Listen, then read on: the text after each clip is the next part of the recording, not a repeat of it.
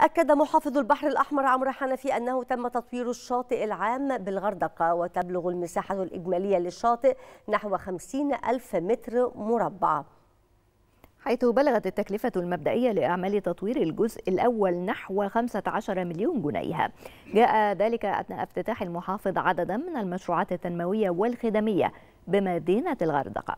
المزيد في سياق التقرير التالي.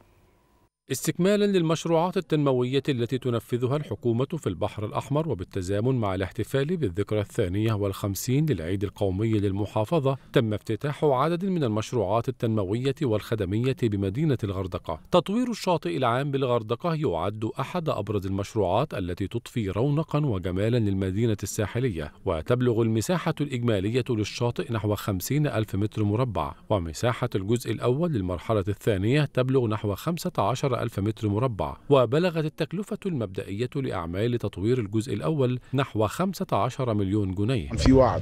للأهالي الغردقة أن إحنا إن شاء الله بإذن الله نستكمل الشاطئ بالكامل. إحنا خلصنا منطقة الممشى اللي هي المنطقة العلوية وبدأنا في المنطقة اللي تحت عشان إن شاء الله بإذن الله أنا بوعد الأهالي.